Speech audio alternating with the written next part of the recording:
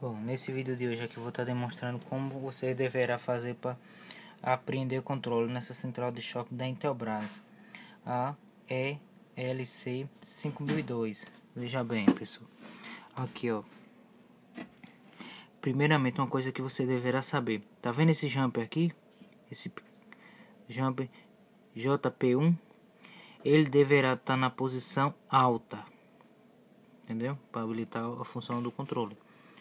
Então, esse aqui, ó, para você habilitar o controle, você tem que apertar esse botão aqui, ó, C remoto, que significa controle remoto.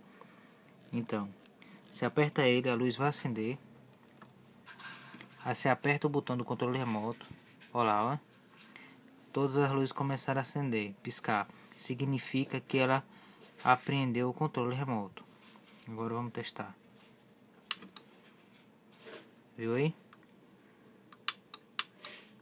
Já tá funcionando. Deixa eu ligar. Entendeu, pessoal? Aí, já está funcionando. Não tem dificuldade. Você só deverá saber. Esse jumper JP1 tem que estar na posição alta. Depois você vem aqui em controle remoto, aperta o botão, a luz vai acender. Aí você em sequência você vem aqui nesse botão todas as luzes começaram a piscar, significando que aprendeu o controle. Pronto, pessoal. Essa, esse vídeo aula de hoje só foi para isso. Para informar como você deverá aprender o controle da de, na central de choque da Intelbras. É uma ótima central.